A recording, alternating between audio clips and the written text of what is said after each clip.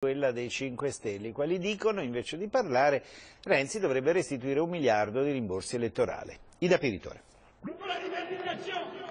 La replica dei 5 Stelle alla sfida del segretario del PD non si fa attendere. Renzi dimostri che è capace di fare quello che dice, si legge in una nota il suo partito, insistono gli uomini di Grillo, vuole solo una finta abolizione delle province e fa marchette come quella sulle slot machine. Bene la nuova legge elettorale